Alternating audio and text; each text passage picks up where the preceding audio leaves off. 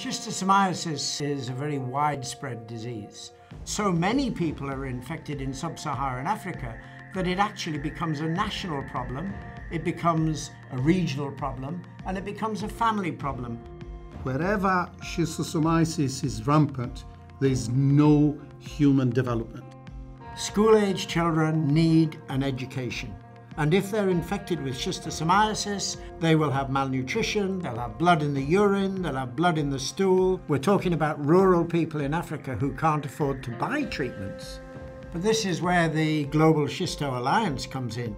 Treatment is now free, so treatment is available. There are 60 million people that are treated for schistosomiasis. There was nothing 15 years ago. Yeah. So things are improving, but it's not sufficient. It's going to be possible because it has happened already. Puerto Rico, Japan, China is very close to elimination of their form of schistosomiasis.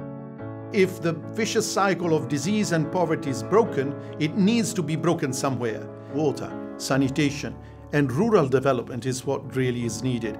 Getting the drugs inside, improving the health of the people, and creating the condition of a different development.